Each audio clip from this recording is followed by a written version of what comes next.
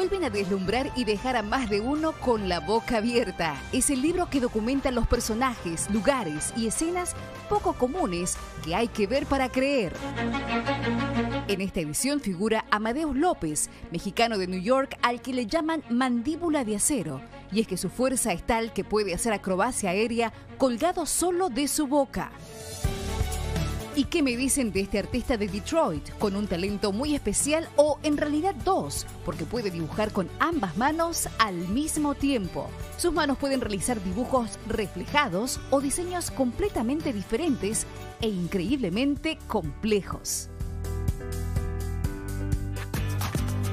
Y si hablamos de arte, este escultor de New York descubrió en la cuarentena su habilidad por esculpir obras sobre quesos cheddar algo muy práctico porque puede consumir las obras mientras trabaja.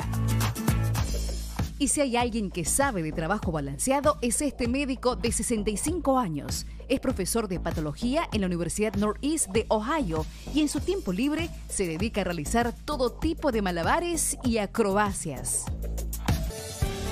Y vean nada más este arte de la precisión.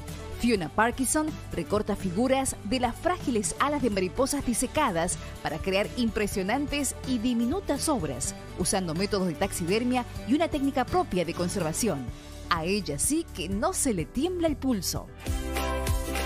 Y el mejor amigo del hombre no podía faltar en esta serie. Esta Golden Retriever llamada Rae, que en inglés es oreja escrita al revés, se ganó el cariño de miles de seguidores. Rae nació con una lesión en la que perdió su oreja izquierda y la derecha migró hacia la parte superior de su cabeza, lo que resultó en una apariencia única, similar a un unicornio. Sin duda son auténticos animales, personajes y lugares que dejan en claro por todo lo alto que jamás este mundo dejará de sorprendernos. Gabriela Vélez, Telemundo.